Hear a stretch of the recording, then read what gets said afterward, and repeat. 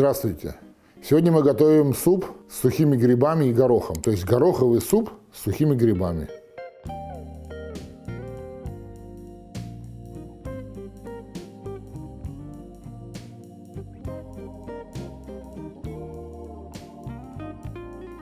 Это мой кот и помощник Джаз, породы Невская маскарадная. Он постоянно здесь ходит, сидит, а сейчас вот просится уже уйти, он, наверное, попить хочет.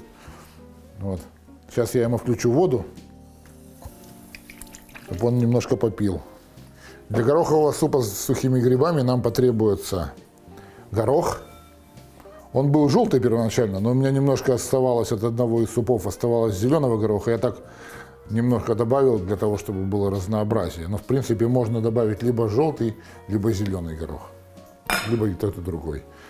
Сухие белые грибы, я их предварительно размочил, соответственно.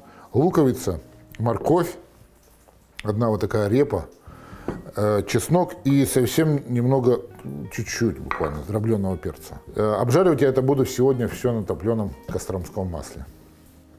Начнем нарезать.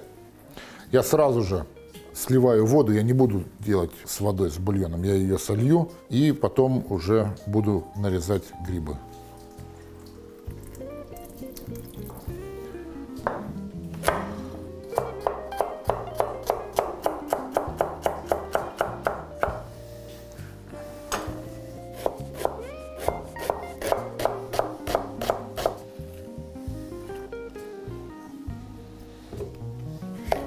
И нарезаем репу, традиционный русский такой продукт. Картошки здесь не будет добавляться. Мне мой дед рассказывал, который прожил в деревне достаточно, ну, всю жизнь свою. Картошка появилась у них достаточно поздно. Уже он был, э, пришел с войны уже. Тогда у них появилась картошка. До этого ее не было особо. Зато репы, за репой были засажены все, все поляны, даже в лесу находили поляны какие-то, ну, на которых трава не растет, из-за того, что солнце перекрывает, например. И на этих полянах они высаживали репу. Так что выбирайте тоже репу аккуратно по, по весу. Она бывает такая, вроде большая, но легкая. Значит, пористая будет. Быстренько нарезаем чеснок. И надо уже обжаривать. Попритушить чуть-чуть, соединить, так скажем, поженить все эти продукты, чтобы они стали помягче. Топленое масло, оно придаст такой домашний, такой теплый вкус. Вот сухие белые грибы. Я тоже разберу вот так вот, но только крупные куски буду мелчить, а так то, что мелко, уже нет смысла дальше. Остаток бульона выливаю, нам он не очень нужен в этом супе. Все продукты нарезаны. Пошли закладывать грибы в бульон, горох и ставим на плиту сковороду с нарезанными овощами, кореньями. Вот буквально вот так вот, из такой баночки аккуратненькой, вот так вот, раз, два, ну и, наверное, с горкой вот так вот три ложечки. А давай четыре, ладно. Вот так вот. Все, процесс пошел, перемешали. Буквально одновременно, сразу же кипящую воду прямо раз. И закладываем грибы. Вот так вот, раз. И закладываем горох. Гороха достаточно много, потому что тут нет никакого другого заполнения такого. Картошки нет, ничего нету. Вот, закладываем горох. Это уже размоченный горох. Столько объем.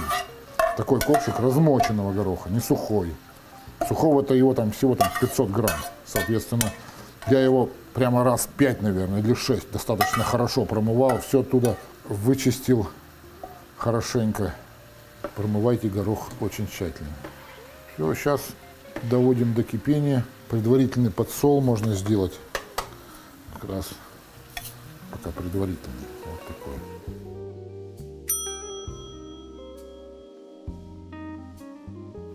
Тем временем замечательный запах пошел.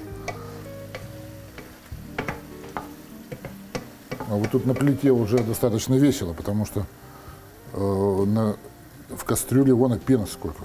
Ужас. Сейчас главное оттуда грибы не выловить. Чуть побольше огонь для того, чтобы он пена, пена образовывалась такая. Сделал. Сейчас надо его поубавить, а то он слишком активно кипит. Когда все подразмякло, добавляем немножко совсем дробленого перца. Чисто для вкуса. Значит, что мы имеем сейчас? Мы имеем в кастрюле кипящие грибы сухие белые и горох. Сняли все, пену, там много пены было такой. Посолили. И здесь почти готова э, вся пережарка или тушеные овощи, пассировка. Сейчас мы будем их женить.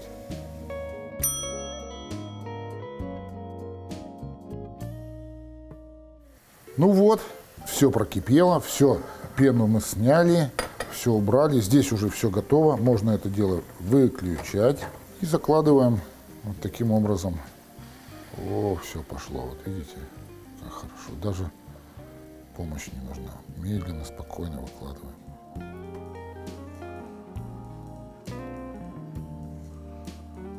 Ну что, после того, как мы все перемешали, наверное, нужно убавить огонь все закипело, потому что не прекращало кипеть, наверное, нужно убавить огонь и закрыть крышечкой, и пусть стоит, варится. Я думаю, что вот горох, грибы и вся эта тема на маленьком огне, наверное, минут 30 как минимум. Но если придется поварить, может быть, еще подольше, то мы потом скорректируем. Но я вот пока сейчас, ну, на 30 минут точно э, закрываю и убавляю огонь.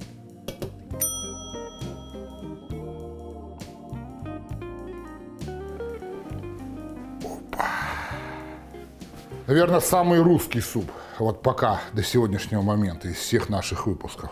Гороховый суп с сухими белыми грибами. Готов.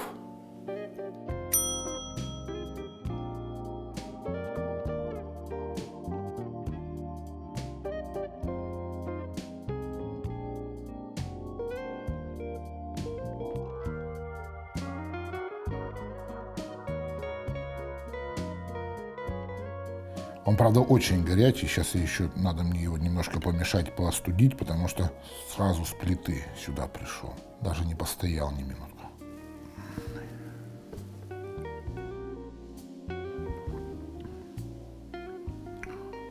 Вообще, ребята, вот, ну, открытие для горохового супа, это это чудо какое-то.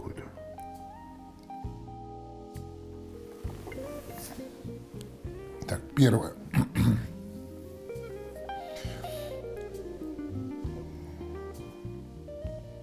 Грибами белыми вот прямо вот в нос не бьет.